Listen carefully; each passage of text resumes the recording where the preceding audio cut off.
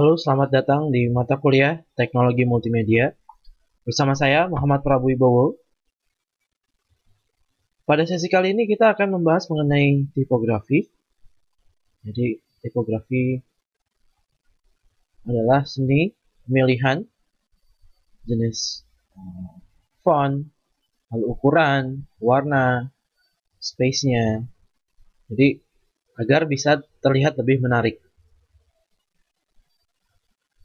Ini beberapa contoh tipografi. Jadi permainan di uh, pembuatan desain grafis dengan menggunakan tipografi cukup banyak.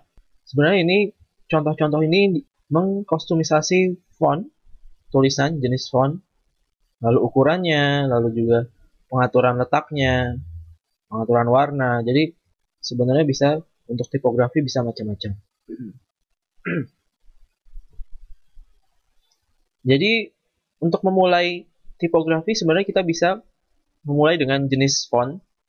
Nah, jadi ada website yang mendaftar database uh, font. Contohnya ada uh, www.dafont.com.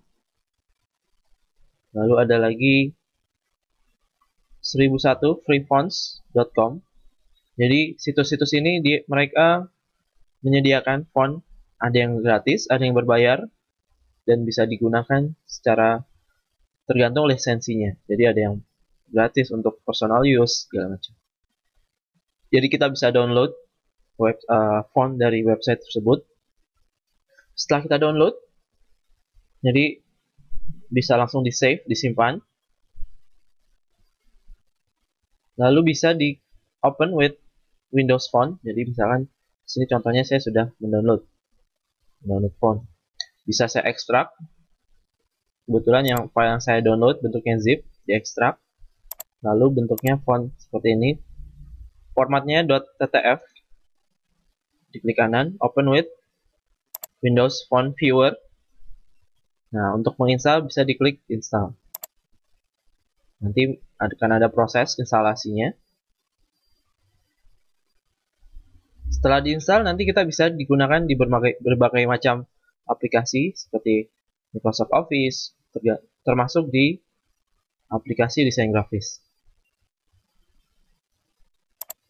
Tipografi sebenarnya termasuk jenis vektor. Jadi kalau kita mengetik dengan Microsoft Word, ketika kita membesarkan ukuran font, dia nggak akan pecah karena memang huruf itu termasuk jenis vektor. Jadi setelah kita instalasi,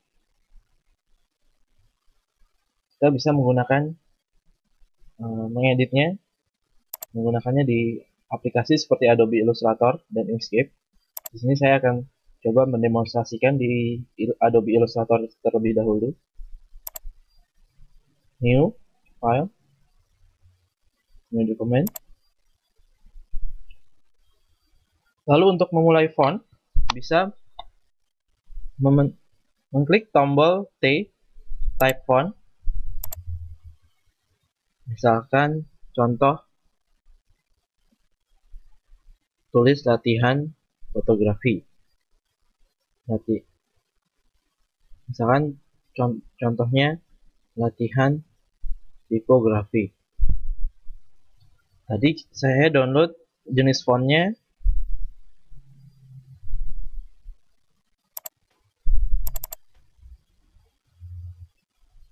Tadi saya download jenis font from cartoon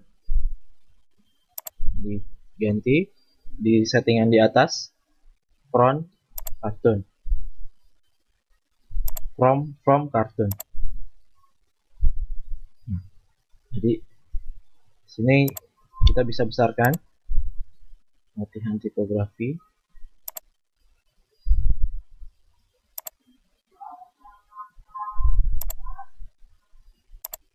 Selanjutnya, agar lebih fleksibel, kita bisa klik kanan agar bisa lebih fleksibel untuk mengedit tipografinya.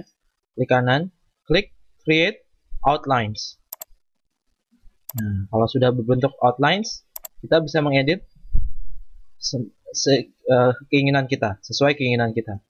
Klik kanan, ungroup untuk ungroup. Sini bisa diwarnai misalkan warnanya saya ingin warna ungu. Warna berbeda-beda tiap tiap-tiap jenis font. Saya juga bisa membesarkan spesifik satu huruf.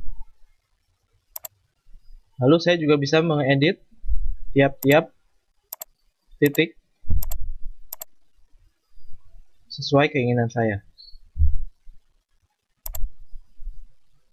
Nah, di sini sebenarnya tipografi seperti itu. Jadi untuk mengubah jenis font, lalu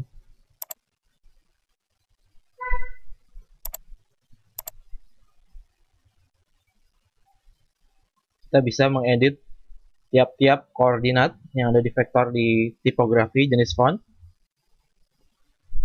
Lalu kita juga bisa membuat seperti uh, bentuk yang lain. Misalnya seperti ini kita bisa tulis untuk membuat bentuk seperti yang ada di gambar ini misalkan saya ingin membuat bentuk gelombang dalam tulisan saya. Saya bisa memulai dengan uh, membentuk garis terlebih dahulu Misalnya di sini saya coba buat garisnya dengan pen, pen tool di Adobe Illustrator. Di sini saya ubah warna fill-nya jadi tidak pakai warna. Stroke-nya saya ubah warna hitam biar terlihat. Nah, lalu bisa dimulai dengan mengklik type tool atau uh, shortcutnya T. Lalu kita pilih tool tersebut. Lalu nanti kita klik di atas garis yang kita sudah buat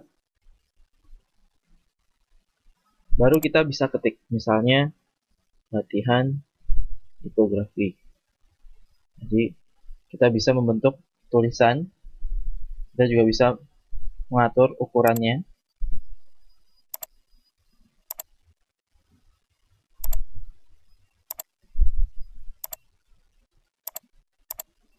lalu cara lainnya itu cara yang pertama kita juga bisa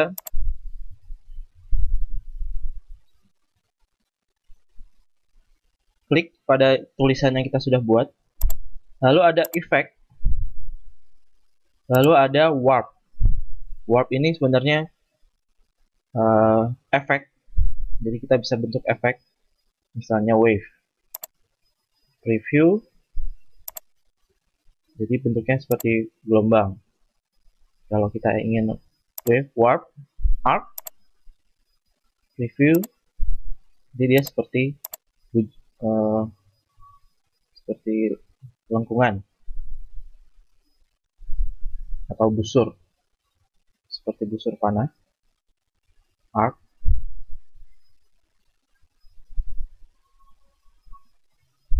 jadi kita bisa beberapa cara.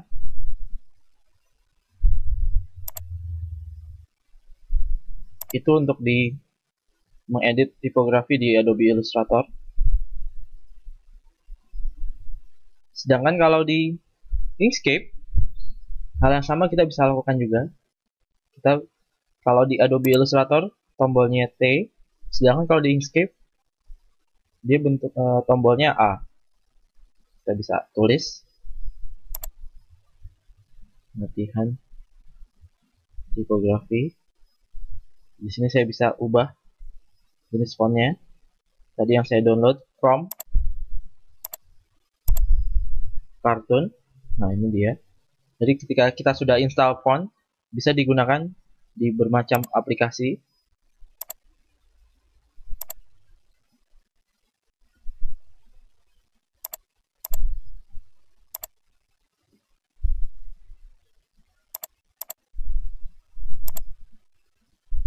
Lalu untuk mengedit tiap-tiap huruf,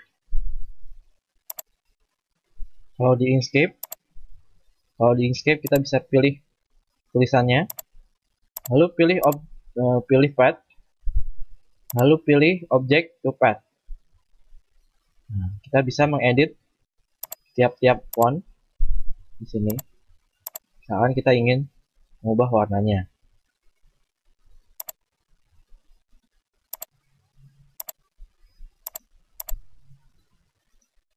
di ungroup terlebih dahulu di kanan ungroup. Nah di sini kita bisa ngedit tiap-tiap warna tiap-tiap huruf. Lalu kita juga bisa mengedit tiap-tiap koordinat dengan edit path. Nah, ini kita bisa edit tiap-tiap koordinatnya. Jadi sesuai yang kita inginkan.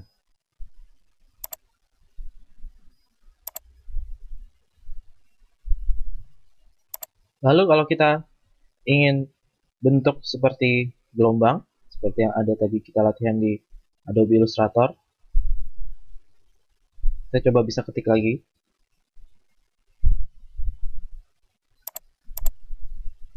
Latihan tipografi lalu kita bisa bentuk garisnya dengan draw bezier tool.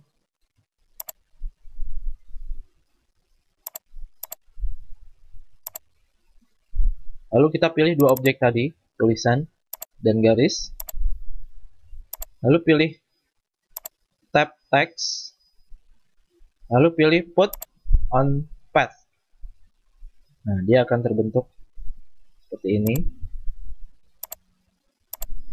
Kita bisa pindahkan tulisannya. Jadi kita juga bisa ubah.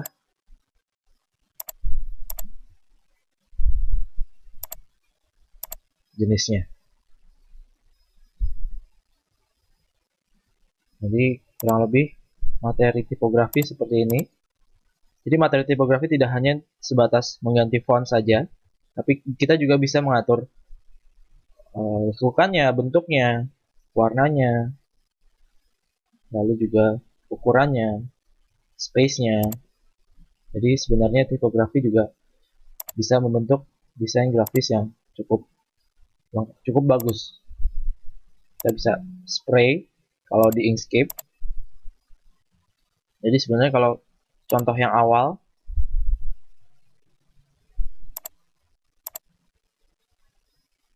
ini mereka sebenarnya yang logo Apple ini hanya ada pengulangan. Pengulangan di tiap-tiap font. Kalau ini hanya memainkan dibentuk ini juga dibentuk bentuknya seperti payung. Nah jadi kurang lebih materi tipografi seperti tadi. Jangan lupa file latihannya disimpan bisa latihan pakai Adobe Illustrator atau Inkscape. Lalu jangan lupa di-upload di scale di materi latihan. Sekian, sampai jumpa di sesi selanjutnya. Terima kasih atas perhatiannya.